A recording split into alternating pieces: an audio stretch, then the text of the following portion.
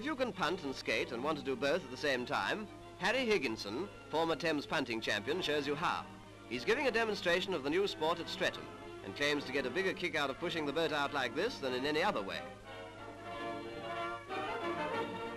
But these elephants prefer the stuff that normally goes under boats. They're newcomers to this continental zoo, and their arrival coincides with the opening of a new swimming pool. The beasts are as fond of the water as a spaniel, so it's decided to let them perform their own opening ceremony. Mother goes in first, and then the rest of the family. That's when an elephant does forget.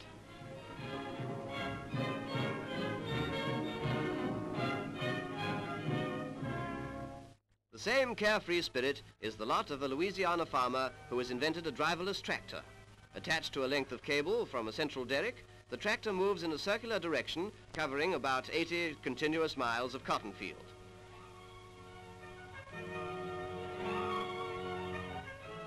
Each time the machine goes once round the field, it winds in the cable, and from the air its track looks like a spiral.